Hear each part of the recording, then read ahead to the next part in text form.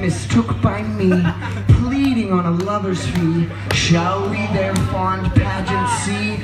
Lord, what fools these mortals be. Now jump.